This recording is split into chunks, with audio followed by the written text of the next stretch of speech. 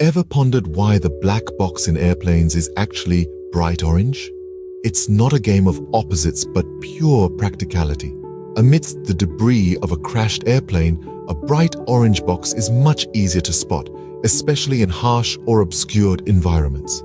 Contrary to its name, this black box is a beacon of hope in understanding the events of an aviation accident. Comprising of the flight data recorder and the cockpit voice recorder, it's an indispensable tool in the world of aviation safety. So next time you hear black box, remember, it's not always as it seems.